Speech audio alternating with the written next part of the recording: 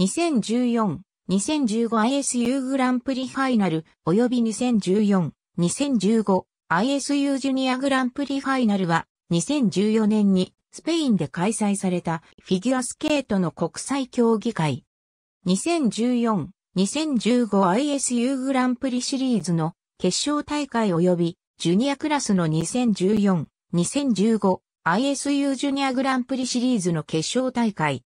2014、2015ISU グランプリファイナル2014、2015 ISU ジュニアグランプリファイナルは、それぞれ2014から2015年シーズンの ISU グランプリファイナル、ISU ジュニアグランプリファイナルで2014、2015、ISU グランプリシリーズ及び2014、2015、ISU ジュニアグランプリシリーズの決勝大会である。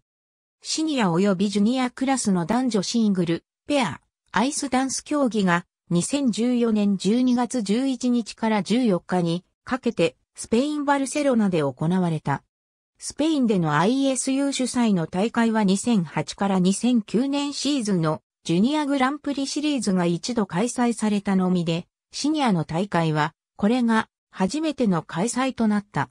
シニアの男子は、羽生結弦が日本の男子選手では初の2連覇。連覇はエフゲニー・プルシェンコ、パトリックちゃんに続き3人目である。地元スペインのハビエル・フェルナンデスが銀メダル、銅メダルのセルゲイ・ボロノフは10年ぶりにこの種目でロシアにメダルをもたらした。女子では、エリザベータ・トゥクタミシェワが、ロシアの女子選手としては、イリーナ・スルツカヤ以来10年ぶりの優勝。エレーナ・ラジオノワが、銀メダル、銅メダルのアシュリー・ワグナーは3年連続でメダルを獲得した。ペアでは、メーガン・デュハメル、エリック・ラドフォード組が、ジェイミー・サレー、デビッド・ペルティエ組以来13年ぶりの優勝。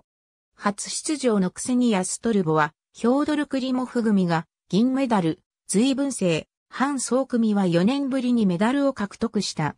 アイスダンスでは、ケイトリン、ウィーバー、アンドリュー・ポジェ組が、シェイリーン・ボーン、ビクター・クラーツ組以来、ペアと同じく13年ぶりに優勝。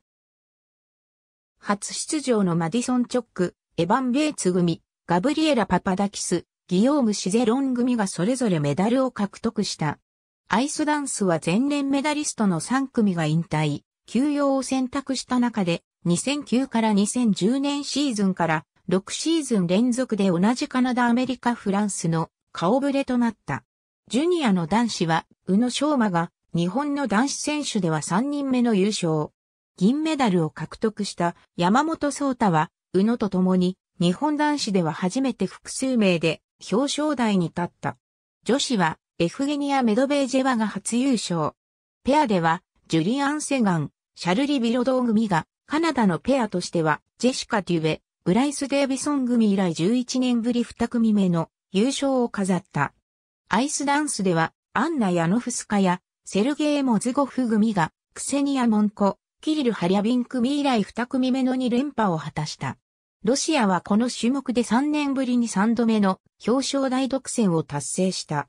アメリカ選手団はアメリカ同時多発テロ事件の影響で選手の発見を中止した2001から2002年シーズンを除けば、過去最低の一組の選手派遣にとどまった。成績上位6名が出場する。男子シングル男子、シングルメダリスト女子シングル女子、シングルメダリストペアアイスダンス男子シングル男子、シングルメダリスト男子シングル表彰式での宇野と山本女子シングル女子、シングルメダリストペアアイスダンス入賞者にはそれぞれ以下の賞金が与えられる。